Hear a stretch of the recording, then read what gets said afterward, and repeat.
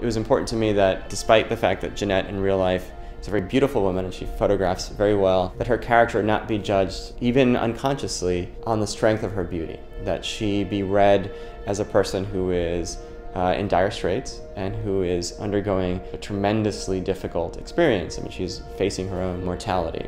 And I think Jeanette absolutely embraced that. I mean, she allowed herself to be raw and to be ugly. That's a strength uh, that not all actors have. And I think, of course, as always happens, at the moment where she's the most exposed, the most vulnerable, the most, you would say, traditionally ugly, she looks beautiful uh, because she's the most human. And I think uh, that was a real achievement, and uh, it's a tremendously important part of the movie.